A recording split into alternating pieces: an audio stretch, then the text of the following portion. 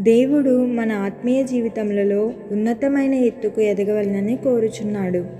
చిన్నపిల్లలు ప్రారంభంలోని కొన్ని ఉద్రేకములతో తృప్తి చెందినట్లు మనము తృప్తి చెందకూడదు. చిన్నపిల్లలు ఎల్లప్పుడూ నూతనమైన వాటిని కోరుకుందురు.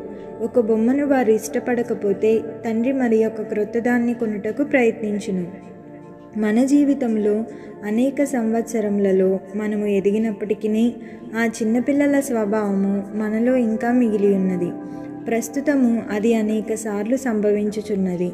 పాత సమస్యలు పాత అపజయము కన్నీరు పోరాటములు మనకు భయంకరముగా పెద్దవిగా కనిపించుచున్నవి. నూతనమైనది ఏమిటి అని నీవు ప్రశ్నించవచ్చును. నూతన సంవత్సరములో సమాధికి నీవు ఇంకొక సంవత్సరము దగ్గరయ్యావు.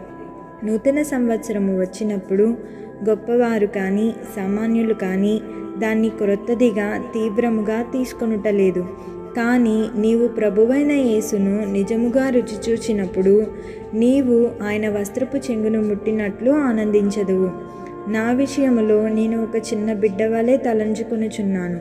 నేను నా గొప్ప రక్షకుణ్ణి చూచి పరలోకమందును భూమి మీదను నాకు సర్వాధికారం ఇవ్వబడినదని ఆయన నాతో చెప్పుట వినినప్పుడు నీ కొరకు నేను ఎంత దౌర్భాగ్యమైన ప్రతినిధిగా ఈ లోకంలో ఉన్నాను నీ మహిమను నేను కనపరచటలేదు అని చెప్పుదును.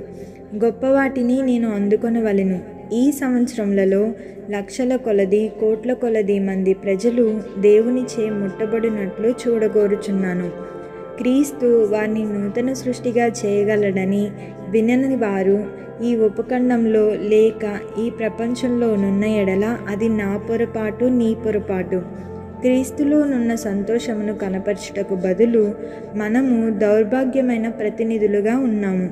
లోకమునకు మనము వెలుగుగా లేము. ఆమెన్.